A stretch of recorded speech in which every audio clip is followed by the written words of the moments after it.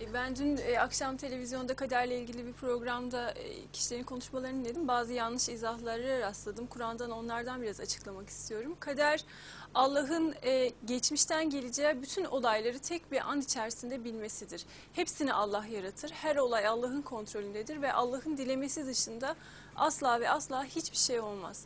Bütün olayları Allah yaratır. Allah yarattığı için de bütün olayları Allah çok iyi bilir. Başını da bilir, sonunu da bilir. Çünkü Allah yaratır hepsini. Şimdi e, Allah her biz her şeyi kader ile yarattık diye bildiriyor. Her şey derken sadece insanın kaderi değil, eşyanın da kaderi vardır. Meyvanın da kaderi vardır. E, bütün bitkilerin de, bütün hayvanların da hepsinin kaderi vardır. Allah Allah'ın izni olmaksızın bir yaprak dahi düşmeyeceğini bildiriyor. Bu ne demek? Gök e, yeryüzündeki ağaçları düşünün, yaprakları düşünün. Sonbaharda teker teker düşen yaprakları düşünün. İşte onların da hepsinin kaderi var. O küçücük tomurcuktan çıktığı andan itibaren sararıp solduğu ve yere düştüğü an, ana kadar o yaprağın da bir kaderi var. İnsanın da doğduğu andan öldüğü ana kadar bir kaderi var. Ve bir insanın o kaderini yani gaybı bilmesi Allah'ın izniyle mümkün değil. Allah gaybın anahtarlarının kendi katında olduğunu bildiriyor. Yani gaybı sadece bilenin kendisi olduğunu bildiriyor. Tabii ki Allah dilerse inşallah peygamberlere gaybından bilgi veriyor ama insanlar gaybı bilemez. Kendilerine sonrasında ne olacağını ve ne zaman öleceklerini bilemez ve ölümü de asla ve asla kendilerinden savamazlar. Herkes için belirlenmiş bir yazı vardır diye bildiriyor Allah ve herkesin takdir edilmiş bir ölüm vakti vardır. Bunu bir e, kaset gibi düşünün, bir film gibi düşünün. O film bir CD'nin içine yerleştirilmiştir artık, çekilmiştir.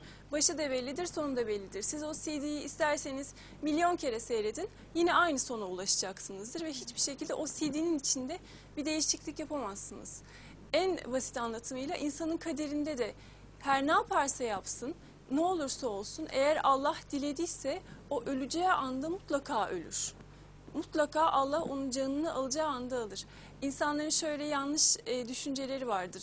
Mesela trafik kazasında ölen biri için eğer benimle gelseydi ölmezdi. Ben onu oraya gitmemesi için çok ısrar etmiştim. Eğer gitmeseydi ölmezdi. O arabaya binmeseydi ölmezdi. İşte o ile gitmeseydi deprem olmayacaktı.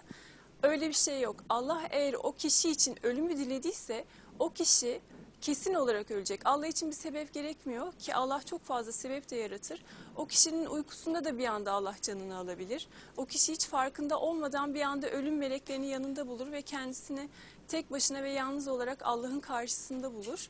Allah için bir sebep gerekmiyor. O yüzden e, kaderi değiştirme diye de bir şey mümkün değildir. İnsanlarda öyle yanlış bir inanç da var. Kaderimi değiştirdim, kaderimin yönünü değiştirdim. O kaderinin yönünü değiştirdiği yön de kaderinde.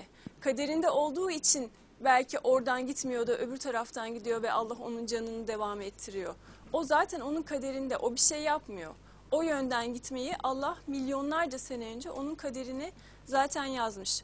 O yüzden e, hiçbir şekilde insanın kaderini değiştirmesi, kaderini bilmesi, e, bir şey yapabilmesi, güç yetirebilmesi mümkün değildir. Allah herkes için süresi belirtilmiş bir kader yaratmıştır.